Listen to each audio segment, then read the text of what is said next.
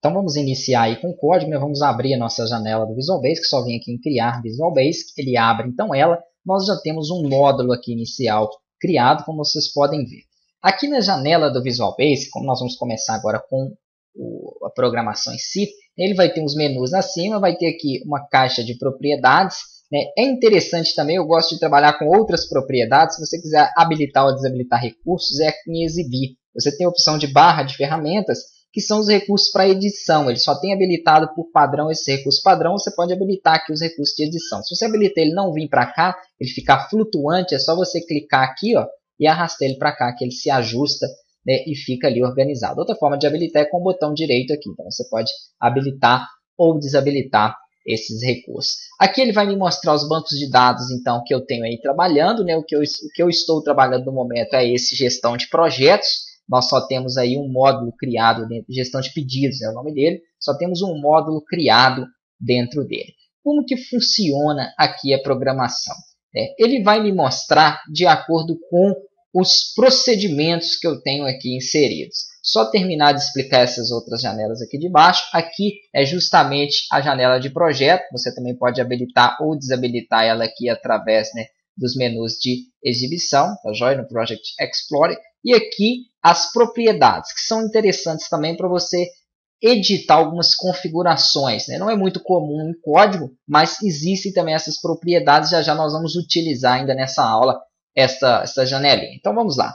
Como que funciona? Eu preciso de ter um projeto, eu já tenho um projeto. Geralmente quando você cria aí dentro do Axis e dá um nome, né, eu criei. Então já gerei meu projeto, que é no caso esse projeto de pedidos. Quando eu clico em criar Visual Basic, ele já então coloca para mim aqui o nome do meu projeto e dentro dele vai vir todos os módulos contendo. Então, primeiro o projeto, depois o módulo, depois do módulo eu tenho um procedimento que pode ser do tipo sub ou do tipo function. Esse que foi gerado através da macro, ele é do tipo function.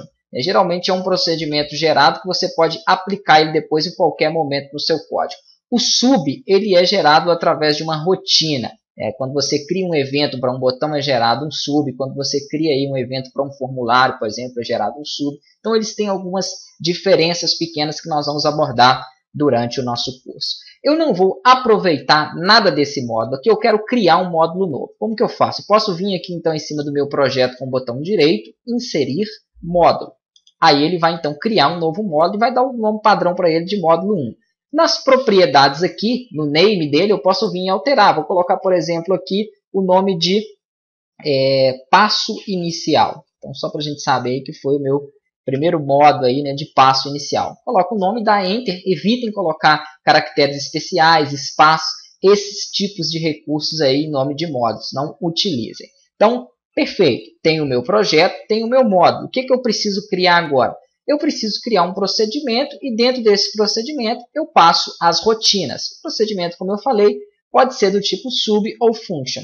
Vamos criar primeiro um procedimento aí do tipo sub. Então vou colocar aqui sub e vou colocar o nome desse meu procedimento. Pode ser o nome que eu quiser. Vou colocar aqui passo inicial mesmo, tá joia? Ou primeiros passos, né? Vamos colocar aqui diferente do módulo para não ter confusão. Então primeiros passos esta vai ser o nome da minha rotina.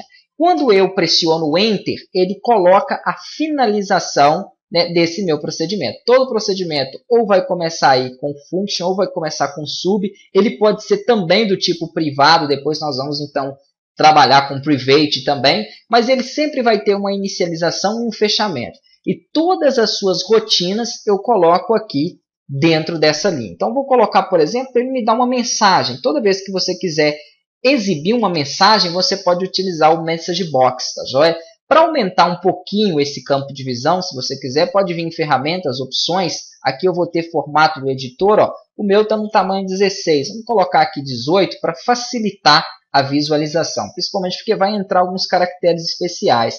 Quando eu quero chamar uma mensagem, eu dou espaço, coloco o comando Message Box, abro aqui as aspas duplas e digito o texto da mensagem. Vou colocar aqui, bem-vindos fecho a aspa dupla no final.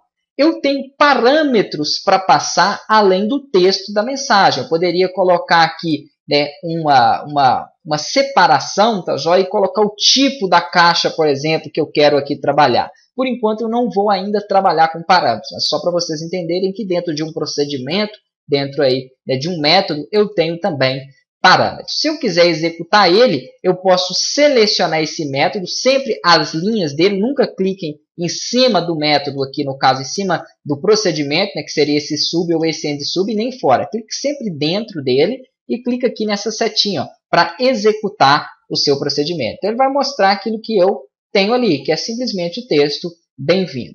Perfeito. Muito, muito fácil. Se você quiser salvar ele, clica aqui em salvar, ó, e ele vai então pedir para você colocar um nome. Como eu já tinha dado um nome aqui na propriedade name, ele mantém ela para mim. Se eu não quiser alterar, é só clicar em OK. O meu primeiro método aí, então está criado.